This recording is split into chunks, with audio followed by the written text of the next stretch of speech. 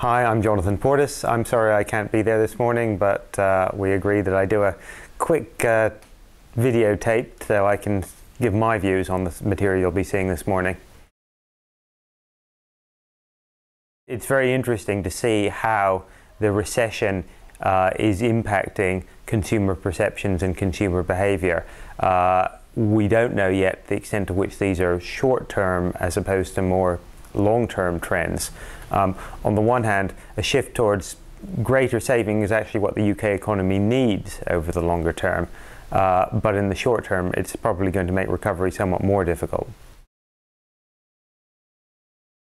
I think in the short term, clearly, more saving means lower demand. Uh, and the main problem for the UK economy, as I and a number of others have been saying for at least the, uh, the last 18 months or so, is depressed demand. So in the short term, uh, greater consumer saving, higher risk aversion, more willingness to pay down mortgages, say, um, is probably going to be bad in the short term for the macroeconomy and indeed for the Treasury in terms of reducing the deficit. Um, of course, over the longer term, um, the UK actually has a problem of not saving enough, and the government's quite right in saying that we do need to rebalance the economy away from so much consumer spending towards saving um, and towards investment. Um, so, over the medium to longer term, um, a more realistic assessment on the part of consumers of what they can afford, not just today, but uh, um, over their life cycles, um, could potentially be quite good for the economy. It could um, boost saving, increase provision for retirement, mean fewer people getting into trouble with debt, and making the next uh, economic cycle not quite as violent as the last one. So there's a real trade off here, I think, for policy. You know, policy needs to support demand in the short term uh, which, as I say, is why I and a number of other economists have been arguing for some time that the government's policies, which could have been designed to uh, uh, restrict consumer demand, um, are quite damaging uh, in the short term. Uh, but on the other hand, we don't want to say, actually, the only way that, that what we need to get out of our, the crisis now and to, to go forward is just more spending on its own. That, that won't be enough. We do need to rebalance towards saving over the medium term.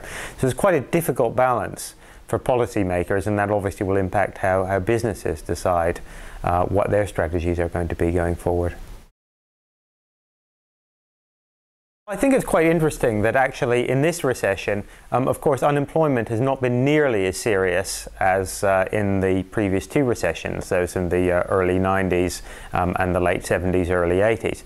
Yet at the same time, the fear of unemployment uh, is clearly very high, and that's weighing quite heavily on consumers and hence on spending.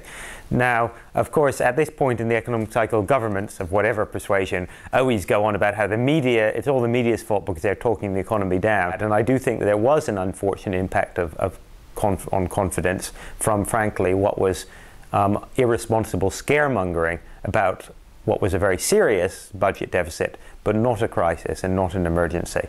Um, so I do think that that has had some lasting effect and is accounting for some of the persistent gloom on the part of consumers. Um, but going forward, I don't think that, frankly, that there's much that either government or media should do. You can't talk people into economic optimism. Um, people, on the whole, make reasonably rational decisions based on their, their perceptions of their own circumstances. Um, government uh, and policymakers just need to get on with doing the things that are necessary to get, get us out of this recession.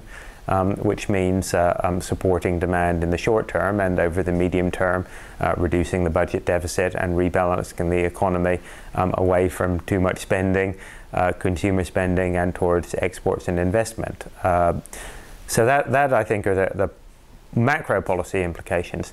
In terms of, of individual families and groups, I think one thing which our research has shown is that, um, as of course everyone knows, there was a huge rise in inequality um, in the uh, in the UK um, over the period, say about from the mid 1970s to the mid 1990s, um, and then since then inequality has been roughly stable, but still at a very high level.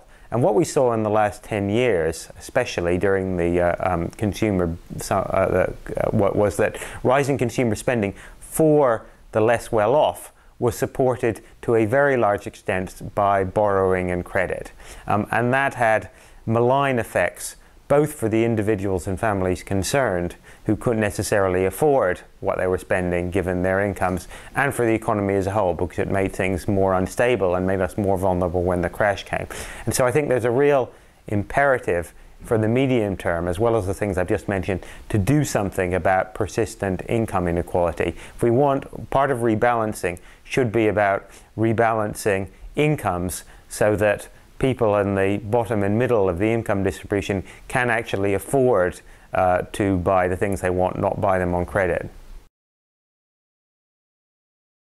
I think it's important to remember that the UK economy, looked at over the long term, say the last 30 years, has actually done pretty well. In per capita GDP terms, we've outperformed Germany, France, the US. Um, that's something we should be quite pleased about. And we have some big strengths.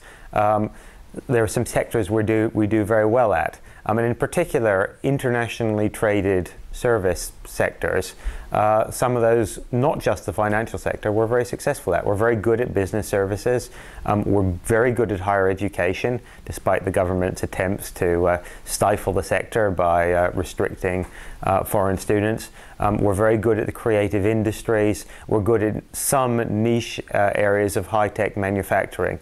Um, all of those are likely to be growth areas um, in the world economy going forward, and there are things that we're good at, and we can be successful um, uh, going forward um, if we put in place the right uh, environment, government, and business to take advantage of those growth opportunities.